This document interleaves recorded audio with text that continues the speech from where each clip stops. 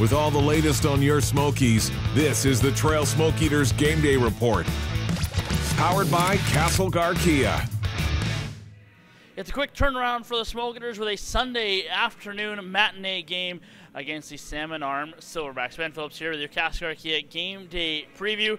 And it was a matter of inches last night for the Smoke Eaters against the Penticton Vees, with the game going all the way to the shootout and Josh Nadeau scoring the difference makers. The Vees get a 2-1 victory here over the Smoke Eaters. Now the Smoke Eaters Adam Parsons last night getting the goal in the second period that tied the game up at one. Smoke Eaters Brady Hunter had a breakaway in the third period, had opportunities in overtime, but the Smoke Eaters unable to beat Di Pasquo a second time as the Vees get a 2-1 win in the shootout. The Smoke Eaters, last time Salmon Arm came to town, they had a 3-1 lead going into the third period.